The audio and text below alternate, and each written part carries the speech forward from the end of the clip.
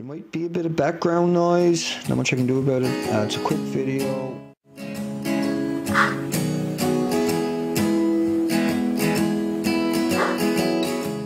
Please feel free to re-upload this video. We need to get this kind of stuff out. Typhoon uh, is being blamed in the Philippines. It was an F4 tornado, 100 miles wide. And then uh, it was still tornado 200 miles on either side of it.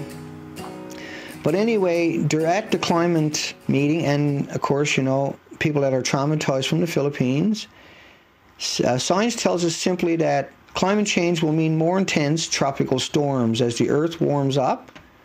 That would include the oceans. The energy that is stored, the energy that is stored in the waters off the Philippines will increase the intensity of the typhoons. Okay, that's the global warming.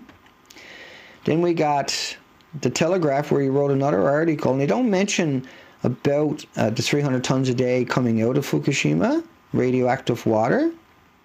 But As highly radioactive water from Japan's Fukushima nuclear plant is pouring out at a rate of 300 tons a day.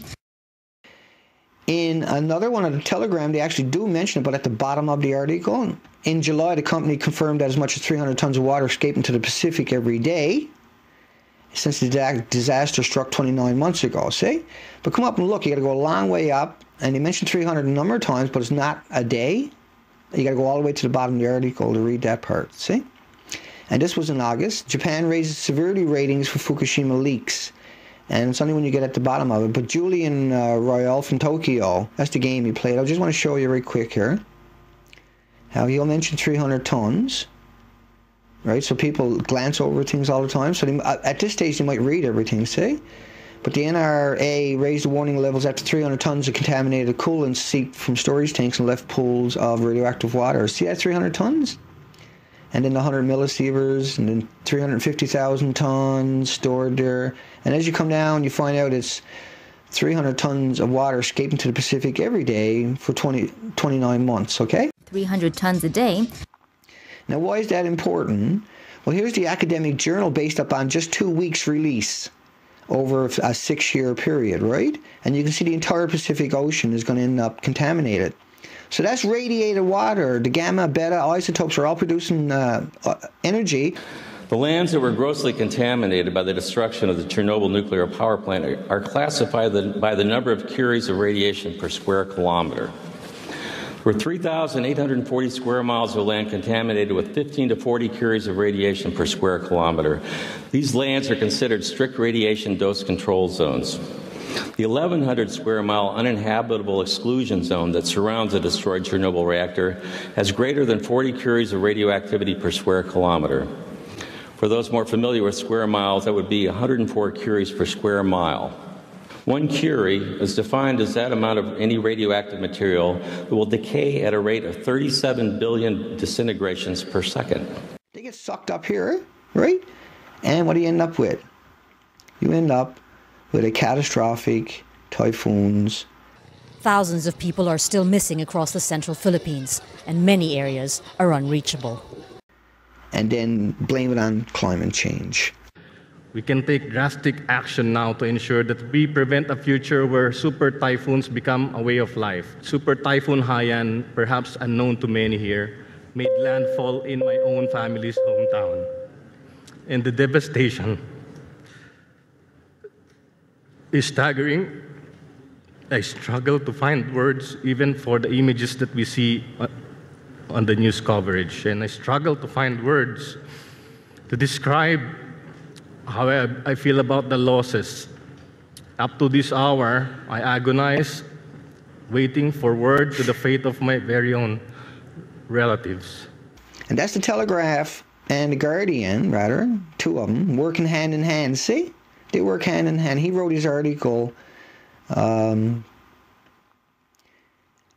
but they work so they work together to fool people, to trick people, because a lot of people use those two sites back and forth.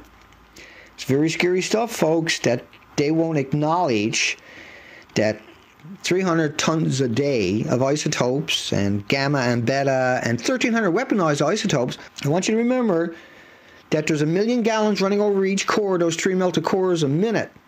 That's 1,440 minutes in a day, and that's uh, 977 days now. And that ocean is off by about 100,000 of how radiated should be. And so these typhoons are going to get three, four, and 500 miles an hour. And the Guardian is not going to tell you they're going to blame it on global warming, just like they just done at the Telegraph and the Guardians. They do this all the time. And at this stage of the game, where billions of people will get cancers because of their lies and will never have a chance because of their lies, we have to call them out. And so please share this video, re-upload it, whatever way you like. You don't even have to link back to me if you don't want to. Try to fool them that way, but get the information out there in this context. It's vital. We have no choice. They don't. They're not leaving us no choice. Okay, they're not going to tell people the truth. All of us at TEPCO will strive relentlessly to control the contaminated water. With regard to the impact of radioactive materials, we monitor radiation levels at various points and disclose the results of this monitoring operation.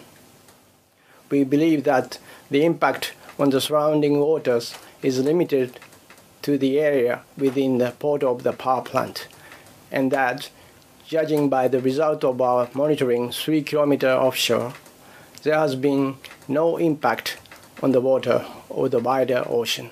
The simulation, which was run by a German Marine Research Institute, shows the entire Pacific waters being polluted by radioactive water in just six years. It's up to you, it's up to us, it's up to everyone to push back. No, push back, please. I'm begging people. We can do this. We can defeat them. All we got to do is bring the truth to the light. And this is real truth. When you show them that model, go look it up yourself, right? That's from the major Asian media, folks.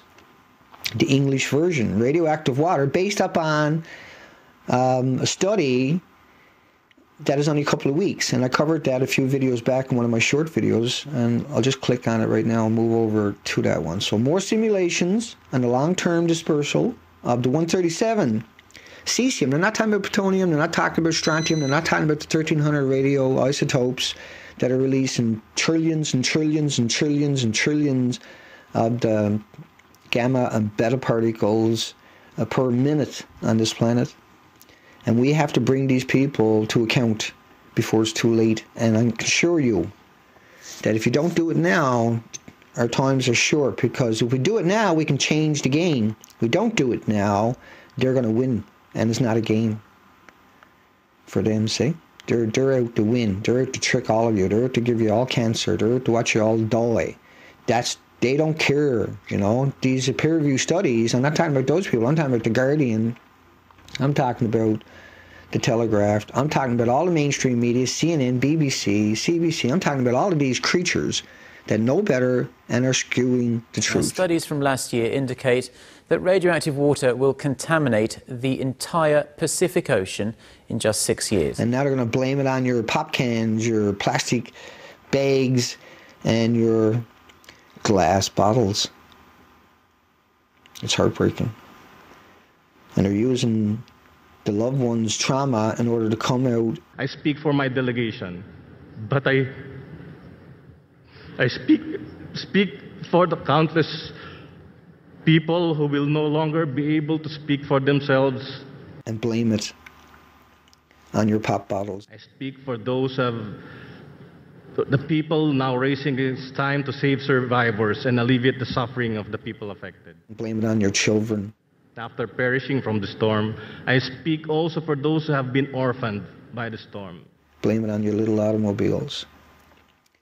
We can take drastic action now to ensure that we prevent a future where super typhoons become a way of life. Japan. See how they skewed that? Even in August of 2013, they can't come out and say 300 tons a day in a headline. They just can't do it. They got to put it at the very bottom of the article and with a whole, bunch of 300 and, uh, before it to skew it. See?